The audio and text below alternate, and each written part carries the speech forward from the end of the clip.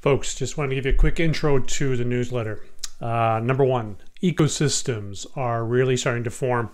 Most of the ecosystems we're seeing right now in the SSI decentralized identity space are really application specific, meaning they work in the context of a particular ecosystem. We'll talk a little bit about one that's kind of bridging ecosystems.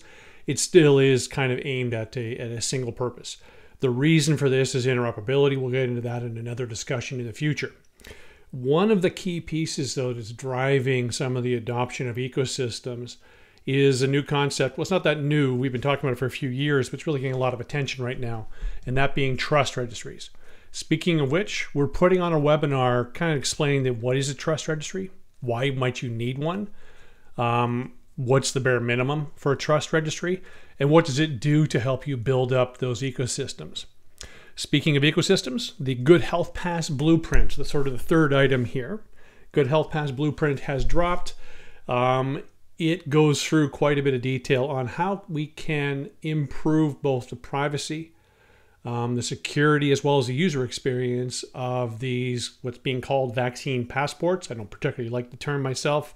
It's more about getting that red uh, X, meaning you're not allowed to travel, or, or a green check mark that says you're good to go um, following various different rules that are in place, and making sure that you, you're maintaining privacy all along the way.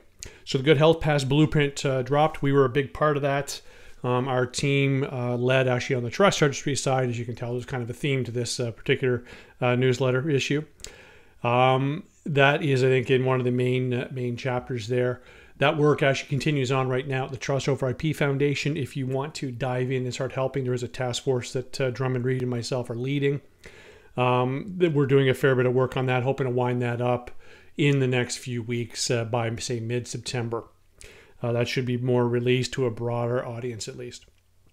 On the corporate front, um, the company's growing. We're uh, we are uh, working with more and more groups who are looking kind of for that team to help kickstart things.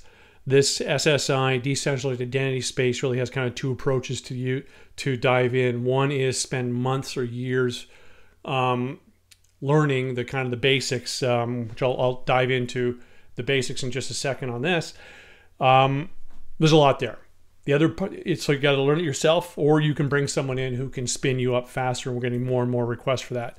On that front, uh, the newsletter you'll be introduced to Olivier Dubois. He's a, a gentleman who's just joined my team, and uh, he's out to help uh, us understand what exactly it is that folks are needing. So you may hear from him, you may hear from me. If you don't, just please feel free to reach out, ask him questions. Um, last item, I usually do a, a book review. I'm going to do two uh, book recommendations, two of them. Um, here I go, smacking the mic. First one, uh, Self Sovereign Identity by Manning.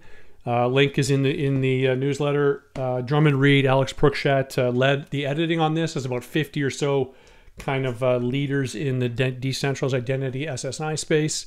Um, I worked with Drummond and created the digital wallets and agents chapter, and inside there are trust registries. They're mentioned as well.